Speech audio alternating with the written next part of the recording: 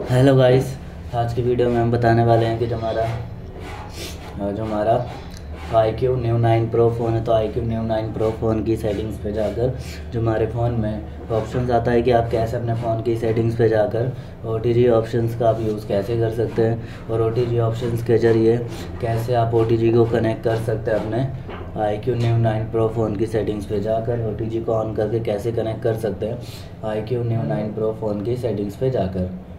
तो video start करने से पहले हमारे चैनल को लाइक करें, सब्सक्राइब करें और साथ में ही बेल आइकन दबाना ना भूलें तो वीडियो स्टार्ट कर लेते हैं। तो आप देख सकते हैं कि आइकन हैं, शो हो रहे हैं। तो सिंपली आपको स्वाइप करना है।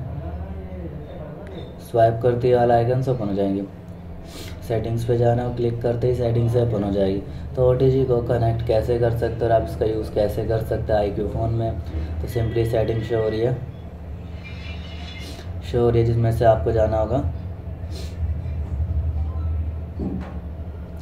ब्लूटूथ एंड डिवाइस सेटिंग्स पे ब्लूटूथ एंड डिवाइस सेटिंग्स पे जाकर ओटीजी का ऑप्शन आपको मिल जाएगा, जिसको आपको जिस तरीके से ऑन करके अपने फ़ोन में ओटीजी को ऑन कर सकते हैं और ओटीजी कनेक्ट भी कर सकते हैं, जिसका आप यूज़ कर सकते हैं और O T G pen drive connect करके फ़ाइल ट्रांसफ़र भी आप किस तरीके से दूसरी डिवाइस में कर सकते हैं।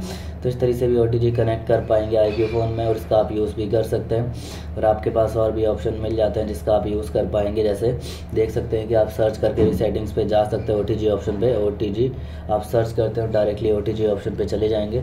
उस पर जाकर यहाँ से इसको ऑन या ऑफ़ करके इसका यूज़ कर सकते हैं और ओटीजी भी कनेक्ट कर सकते हैं। तो इस तरीके से भी ओटीजी कनेक्ट कर सकते हैं आई फ़ोन की सेटिंग्स पे जाकर O T G pen drive भी कनेक्ट करके उसका यूज़ कर सकते हैं। फ़ाइल ट्रांसफ़र वगैरह भी आप कर पाएँगे आई क्यू फ़ोन में।